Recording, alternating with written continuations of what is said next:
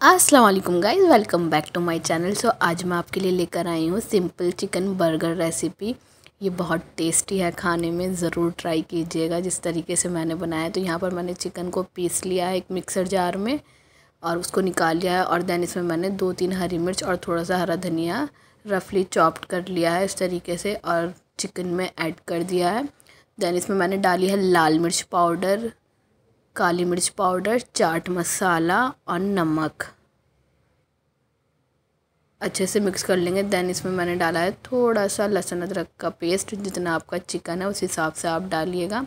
तो यहाँ पर मैं इसकी ना टिक्की बना लूँगी, इस तरीके से। सो टिक्की के अंदर मैं डाइस चीज़ ऐड करूँगी। इस तरीके से हम चीज़ रख लेंगे, जितनी भी आपको क्वांटिटी रखनी है, उस हिसाब से रखिएगा और इस तरीके से कवर कर दीजिए। तो बस एक टिक्की बनकर हमारी रेडी हो गई है। इसी तरीके से मैं अपनी सारी टिक्की बना लूँगी। मैंने यहाँ पर टोटल चार टिक्की बनाई थी मतलब मुझे दो बर्गर बनाने थे तो मैंने उस हिसाब से चार टिक्की बनाई थी। तो ये खाने में ना गाइस बहुत टेस्टी लगता है, बिल्कुल मार्केट जैसा लगता है। इसका टेस्ट आप इस तरीके से ज़रूर ट्राई करिएगा। और घर का हेल्दी बना हुआ खाइए तो। ज़्यादा अच्छा होता है कि अगर हम घर की बनी हुई चीज़ें खाएँ तो बस देखिए मेरी चार टिक्की यहाँ रेडी हो गई है तो मैं यहाँ पर ना डिप रेडी कर लूँगी। तो मैंने यहाँ टमाटो केचप लिया है टू टेबल स्पून और टू टेबल स्पून मैंने म्योनीज़ ली है। तो मैंने साथ में ना यहाँ पर टमाटर और खीरा भी कट कर लिया था। प्याज मैंने इसमें ऐड नहीं की थी तो इस वजह से प्याज मैंने कट नहीं किया। आप चाहे तो प्याज भी ऐड कर सकते हैं। तो मुझे ना थोड़ी सी स्पाइसी बनानी थी तो मैंने यहाँ पर ना थोड़ी सी रेड चिली पाउडर ऐड कर दिया था।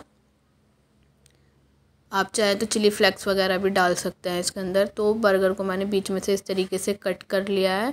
तो यहाँ पर मैंने एक तवा लिया है, इसमें मैं अपनी टिक्की फ्राई करूँगी। सबसे पहले थोड़ा सा ऑयल लेंगे, देन इस तरीके से मैं अपनी टिक्की सारी फ्राई कर लूँगी अच्छे से।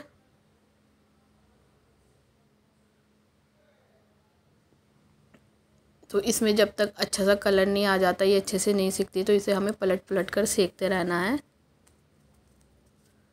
और इसको ना दबाते रहना है क्योंकि इसमें से पानी निक, निकलता है। जब तक पानी खुश्क नहीं होता ना निकलना बंद नहीं होता है टिक्की का तो तब तक हमें इसे फ्राई करना है। तो इसमें देखिए अच्छा सा कलर आ गया और पानी निकलना भी ख़त्म हो गया था।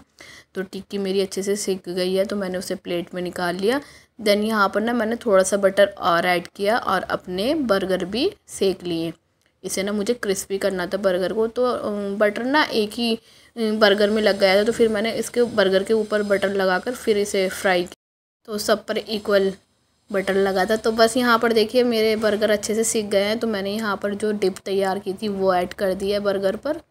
और यहाँ पर मैंने टमाटर ऐड किए हैं देन दो खीरे और अपनी टिक्की, फिर दोबारा खीरा ऐड किया है और फिर दोबारा टिक्की ऐड की है। तो मेरा बर्गर एक रेडी हो गया है। इसी तरीके से दूसरा भी रेडी कर लूँगी। और मुझे ना ज़्यादा प्याज, टमाटर, खीरा इतना पसंद नहीं है बर्गर में। मतलब खासकर मुझे टमाटर ज़्यादा पसंद नहीं है तो इस वजह से मैंने टमाटर कम ऐड किया है।